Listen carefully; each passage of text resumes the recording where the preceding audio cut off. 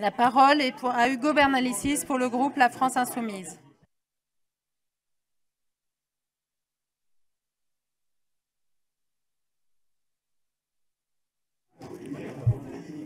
Bien, Madame la Présidente. Effectivement, il ne faudrait pas que on réécrive l'histoire en permanence. Et je vous rappelle qu'il a fallu, il a fallu, nous, les oppositions, vous arracher à vous, la majorité, la plupart des choses euh, pour lesquelles vous vous enorgueillissez sur les plateaux télé et à l'extérieur de cette commission, voire dans cette commission. La commission d'enquête, vous ne l'avez pas voulu, vous n'avez pas été proactif. Je rappelle les mots de votre président de groupe, Richard Ferrand, qui a dit C'est vrai, je ne m'y suis pas opposé.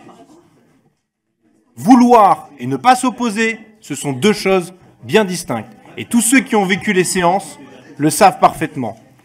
La publicité des débats de cette commission, qui n'était pas gagnée, loin d'être gagnée, tout comme la publicité de cette commission même,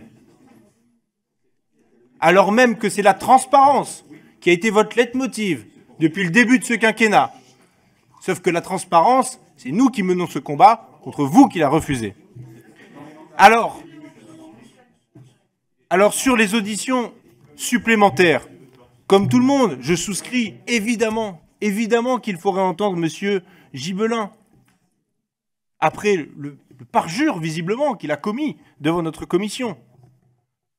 Évidemment le préfet de police, qui a peut-être euh, n'a peut-être pas tout dit, ou ne savait pas tout avant que ses subordonnés ne soient interrogés dans, euh, dans nos, nos commissions d'enquête respectives, Sénat et Assemblée. Il y a, il y a, il y a également. Le président va parler, ça y est, ils sont remontés. La, CR, la CRS 15, qui a été une demande qu'avait fait notre collègue co-rapporteur Guillaume Larrivé, et nous-mêmes aussi, dans un certain nombre de listes, qui nous semblent être dans l'ordre des évidences. Nous rajoutons, nous, politiquement, vous le savez, la demande d'audition du président de la République, qui, depuis ses déclarations d'hier, s'est finalement de lui-même abaissé à ce qu'on puisse l'entendre. Alors, il, a indiqué qu'il vienne me chercher. S'il faut lui envoyer un courrier, il n'y a pas de problème euh, pour, pour ça. Le Premier ministre, qui doit répondre de ses actes, que savait-il de son gouvernement en la matière? Nous voulons qu'il soit auditionné. En plus, il était là, il a participé à cette cellule de crise le jour du 1er mai. Le major Mizerski a été indiqué comme étant un élément indispensable à auditionner, et là, pour le coup, ce sont nos collègues du Modem euh, qui le pointent, et je les salue. Les trois policiers qui sont en cause, M. Simonin, M. Creusat, M. Huneau, les syndicats de police, qui ont a priori des choses à dire, les syndicats aussi qui ont participé à organiser la manifestation du 1er mai. La liste est longue et elle est publique pour ce qui nous concerne de la note. Nous n'avons même pas eu connaissance des autres listes des autres groupes.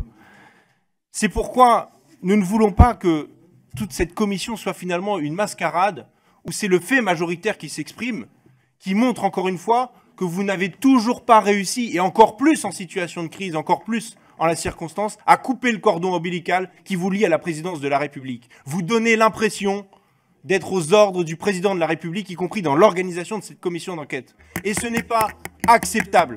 Et ce n'est pas acceptable. Merci, et terminerai, je terminerai en disant que ce serait l'honneur de l'Assemblée nationale et du pouvoir législatif que de couper ce cordon ombilical le plus vite possible.